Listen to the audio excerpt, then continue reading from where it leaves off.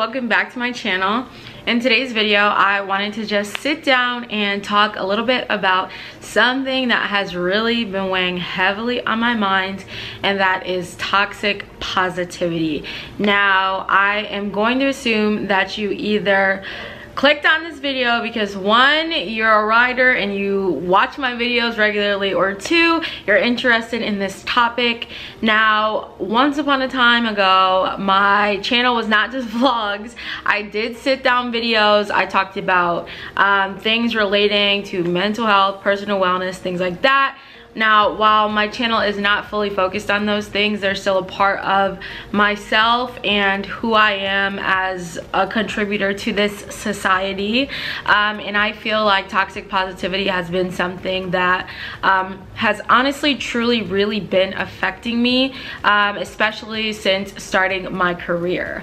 So, according to Refinery 29, toxic positivity is a concept that focusing on so-called called positive emotions and rejecting anything that may trigger negative emotions, um, believing that that's the right way to live your life. The Science of People also says examples of toxic positivity include saying things like, don't worry about it, or it could be worse, don't be so negative, always look on the bright side, everything happens for a reason. Now, Toxic positivity obviously affects me just as a young adult, but most recently it has begun to affect me as a new educator. So I have a teachergram and I'm sure there's maybe one or two of you who came from teachergram and found my channel that way. Um, but something I've really been struggling with on teachergram is this whole let's pretend like we're not in a pandemic and everything is going great mindset that.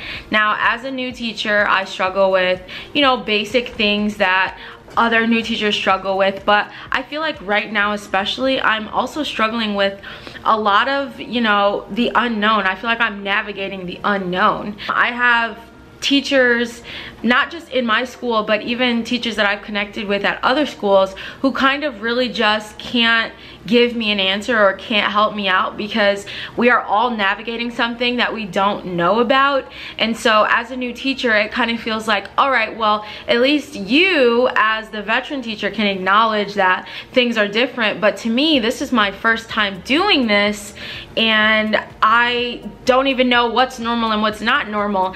And just to constantly hear people say like oh you know it's fine. We all don't know what's going on. No worries. You're doing your best that's not helpful for me personally.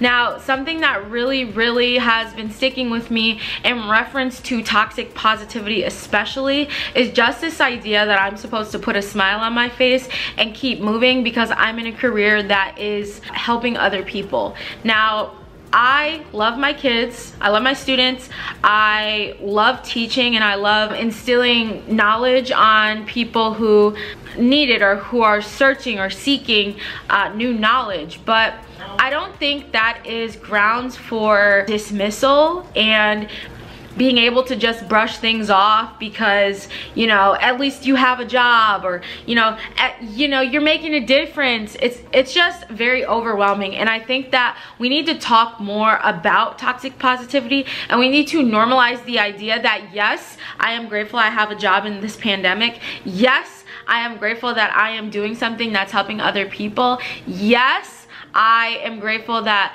uh, I am in this position as a first year teacher, but that does not invalidate the way that I feel about my career and about my state of being during this pandemic. So, I know this was a quick video.